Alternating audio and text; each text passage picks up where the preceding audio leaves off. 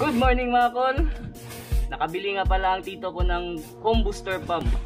Eto, Scala 2. Mag-unboxing tayo ngayon kung anong laman ito. Alam ko it's a home booster pump pero anong itsura nito? Ito, may manual. Wala tayong pakialam sa manual. Basta buksan lang natin to. At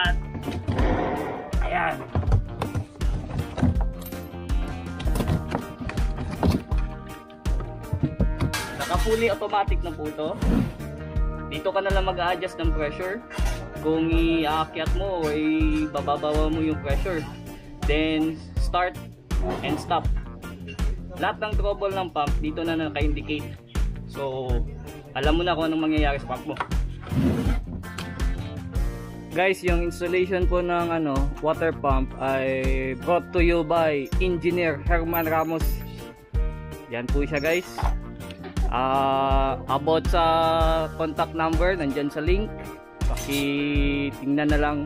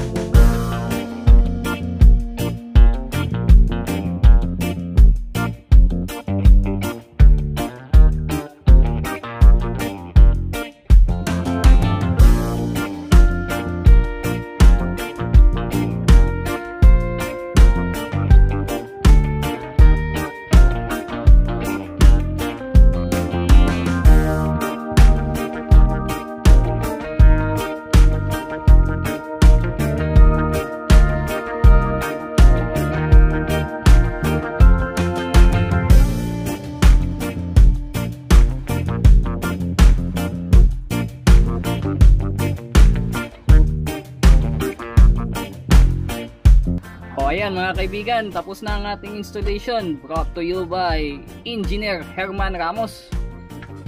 Ayan, ito ang ating Scala 2. Uh, electricity na lang ang hinihintay. Sisip-sip siya dyan, patungo dun. Ito ang tangke. Yan, sisip-sipin yan, may gate valve para pag close ng tubig, punta dun. Punta dito sisip-sipin, ibubuga sa bahay. Ayun. Ayos ba? So, sa mga gustong magpa-install, please contact this number.